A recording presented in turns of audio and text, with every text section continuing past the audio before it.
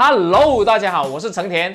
那我今天这条练习呢，我想跟大家分享一个呃，我觉得非常有意思的一个话题，就是呃，其实我们在速弹的时候，我们应该抱着一个什么样的心态去编我们这个速弹的练习？好，在片头这里我先讲一下，我们刚刚那个练习曲的谱子跟伴奏都是可以下载的啊，具体的方法看简介就好了。哎，如果看不懂的话，可以来私信我。建议大家把谱子跟伴奏都下载完以后，再来听我这个讲解，效果会更好的。那首先我先说一下这条练习有什么好处。首先啊，它是从第二品。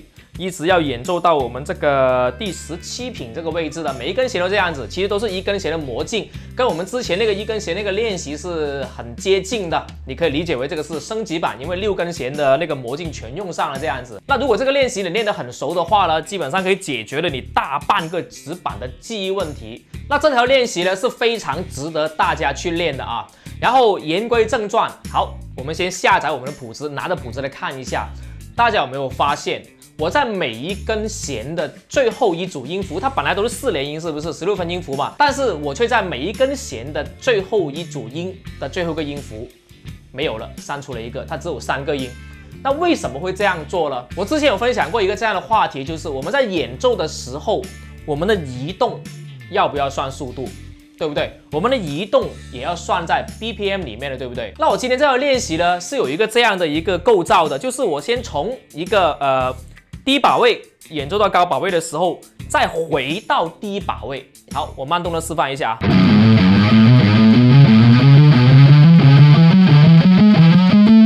对我是演奏到这个位置的时候，我下一组音符就是换一根弦的那个魔镜的时候，我要回到这个位置。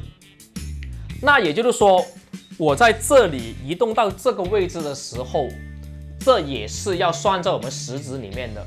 其实有很多朋友他是搞不懂，就是哎，这个魔镜它一直都四连音，那我到最后个音符的时候，它还应该还是要四连音。但是大家想一下，如果在这个地方我还要做一个四连音的话，我在移动到上面的时候，可能就会来不及了，因为我们这个拍子跟拍子之间，它是不可能去等你有这个移动的动作，所以我在这个最后这个音符，我少编了一个音。我们本来那个魔镜是这样子的哈。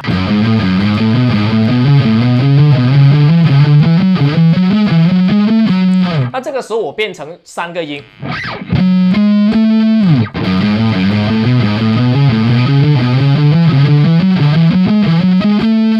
我到最后这个时候我变成三个音，那我再算上我的滑弦，它就可以组成一组四连音十六分音符。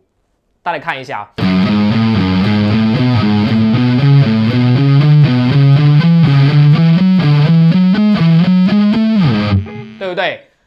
哒哒哒，滑弦。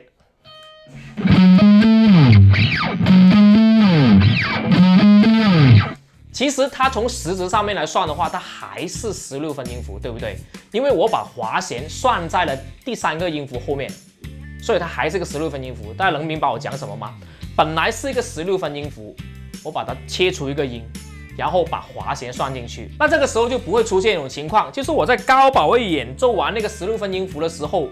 不够时间回到这个低把位，因为我把这个滑弦的动作算在了这个 BPM 里面，算在那个十六分音符里面，所以这个时候你是绝对够时间去做这个这么大跨度的移动的。那这个就是我自己对这个速弹在编曲的时候自己做的一些，对我自己来讲非常适合我自己的一种编曲的方法。那如果人类他有三只手的话，那就完全不一样了。就是你在下面演奏完十六分音符的时候，另外一只手在这里已经准备好了。但其实我们只有两只手嘛，一个弹的，一个摁的，是不是？所以没有办法。所以我想跟大家讲的就是，我们在演奏速弹，特别你在做创作的时候，千万不要把音符编得那么满，要给你自己移动留一点点空间。那这样子的话，你就不至于整首歌都是在一个非常紧张的状态。哇，我这里演奏完，噔噔噔噔噔噔噔跑来跑去。对，多留点空间给自己，这样子会让你的演奏更加精彩，而且不会出车祸。那这个就是我今天这个视频的分享啦，希望可以帮到大家。我是成田，我们下次见，拜拜。